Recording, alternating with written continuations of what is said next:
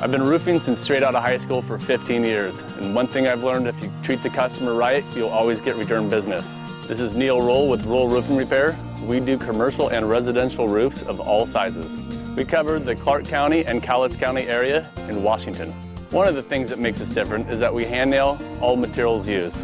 We hand nail so that nails aren't overdriven and create dimples into the shingles. Also, guns can be driven in sideways, which will cause a leak in the future. These guys do exactly what they say they're gonna do. They show up on time, and I've recommended them to a lot of my friends, and they've had the same great results. When you hire Rohl Roofing, what you can expect is a professional crew to show up on time. The crew that I use is top notch. They've been with me for up to 10 years and they always make me look good. In addition to just roofing installation, we also do rot repair, including fascia, barge rafters, and eave work. Whether you need a simple roofing repair or a complete re-roof, give us a call. I would love to come out and give you a free estimate today.